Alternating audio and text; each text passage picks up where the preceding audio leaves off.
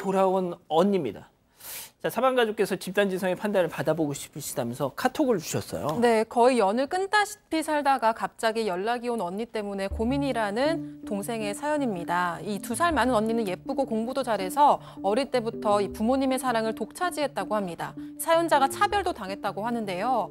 이 사연자는 그 부모님이 고등학교를 중퇴시키고 해장국집에 취직을 시켰지만 언니는 집안을 이끌 기둥이라면서 사연자가 번 돈으로 대학에 입학을 해서. 대기업 취직까지 탄탄대로를 밟았습니다.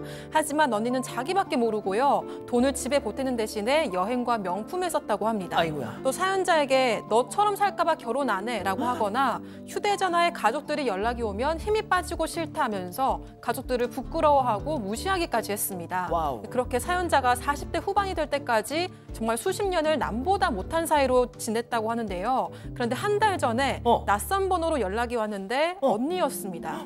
오랜만 에 만난 언니는 그런데 초췌한 모습이었다고 합니다. 음? 그동안 사기도 당하고 투자도 실패를 하고 한량인 남자를 만나면서 빈털터리가 됐다고 합니다.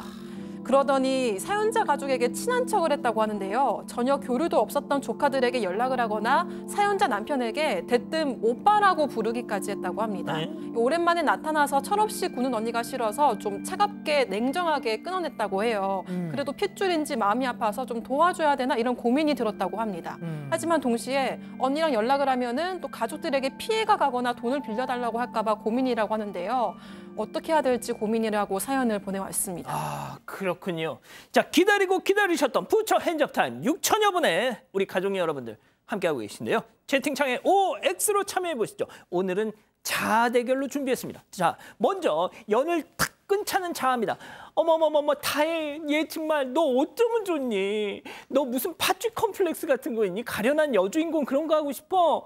너 인생이 지금 왜 이 모양 이 꼴인데? 누구 때문에 대학도 못 가는데? 아이 세상이 자기를 중심으로 돌아간다던 그 상희 언니 때문 아니야? 얼굴에 그냥 소금을 확 뿌려도 될까 말까 하는 판에. 어 그래도 핏줄이네 그걸 고민하고 앉았어? 얘너 신랑한테 치대는 거 봐 얘. 그 인간 글렀어? 당장 끊어 동그라미 아, 제가 제일 좋아하는 구도가 지금 오늘도 벌어지고 있어요. 자, 다음은 최소한 도움은 주자는 자아입니다. 어머머머머머 다해. 야, 너 진짜 좀 잔인하다 얘. 상희 언니 옆집 언니 아니야. 한배에서 태어난 네 언니야 친언니. 물론 옛날에는 꼴배기 싫고 괘씸하고 그랬지만 한번 봐봐라 얘. 어? 얼마나 불쌍하니. 지도 오랜만에 동생한테 연락하면서 얼마나 고민했겠어. 어? 그리고 너 대학 못 간 게 니네 엄마 아빠 때문인지 그게 다 상희 언니 탓만 아니잖아. 천륜이다. 응? 천륜은 사람 힘으로 끊는 거 아니다, 얘. X. 아, 자 일단 양 변호사님. 일단 저는 정말 뭐 변호사지만 가장 힘든 소송이 가족끼리 일어나는 소송이거든요. 근데 그런 걸 몇 번 겪다 보면요. 사실 남보다 못한 게 때로는 남보다 못한 게 형제이고 뭐 이럴 때가 있습니다. 그리고 이 언니라는 여성 같은 경우에 이미 전적이 너무 화려해요. 그러니까. 그리고 가장 그렇게 해놓고도 가장 약한 고리처럼 보이는 동생을 찾아서 또 나쁜 짓을 하는 겁니다. 여기 넘어가시면 또 당합니다, 솔직히. 저는 진짜 뭐 이렇게 냉정하게 끊고 이러라는 건 아니지만 예. 그냥 멀리 하세요. 네. 아, 자 백다희 아나운서 일단 본인 의견부터. 네, 이 언니분이 잘 나갔으면 연락을 안 하셨을 것 같아요. 그래서 사연자는 이미 너무 많은 희생을 했기 때문에 정말 복수가 아니라 가정을 지키기 위해서 좀 정리를 하셨으면 좋겠고요. 사연자가 그렇게 해도 아무도 사연자를 비난할 수 없습니다. 아, 그렇군요. 자, 우리 박 교수님. 네, 뭐 예전에 괴로웠던 건 사실이고 사연자께서 너무 이제 속상한 일이 많으셨던 것도 사실인데요. 지금은 이제 사연자는 여유가 있는 승자시고 언니는 좀 불쌍한 상황이고요. 이렇게 부모님이 차별을 하시면 이런 경우가 왕왕 일어납니다. 이렇게 역기능적 가능해서 가정에서 차별을 당하는 괴로운 차별을 당하는 입장에서는 희생양이 되지만 또 너무 오냐오냐 이렇게 키워지는 사람들은 또 영웅이 되는데 그 영웅이 좋은 게 아니라 결국에는 부모님의 기대만 부합하다가 나중에는 능력이 노력이 안 되면 고꾸라지는 이런 전형적인 모습을 음. 보여주고 있거든요.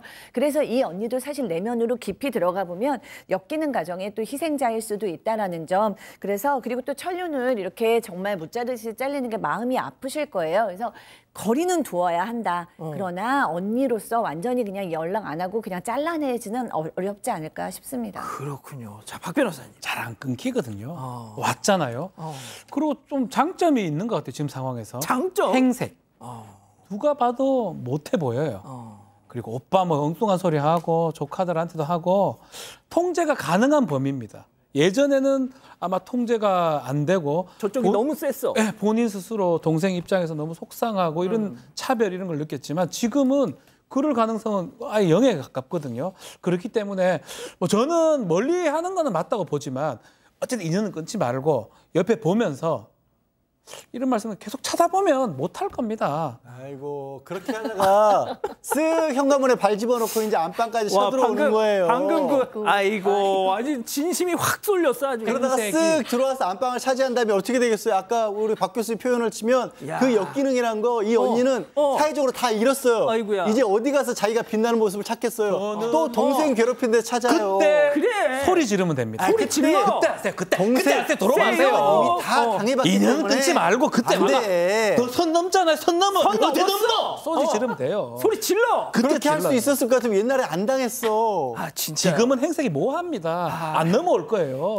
자 어, 가운데서 우리 박 교수님. 진짜 써요. 오, 진짜 싸우고 있어요. 네. 예. 뭐 더 하실 말씀 없고요. 어, 네, 전 없습니다. 아, 네. 자, 우리 가족 여러분들 지금 많은 말씀 주고 계시네요. 네, 귀여운 루피님, 그러려고 연락한 건데 당해주시는 건가요? 라고 하셨고요. 웃음벨님, 마음 약해지지 마세요. 라고 하셨습니다. 한임, 하지만 한인자님은 안 봐도 될, 안 받아도 될 만큼은 도와주고 연을 끊으세요. 라고 하셨고요. 흰둥이님, 돈만 안 빌려주면 되죠. 라고 하셨습니다. 그렇군요. 가족 여러분, 여러분들의 구독이 사건 반장의 힘이 됩니다. 구독과 좋아요 부탁드립니다.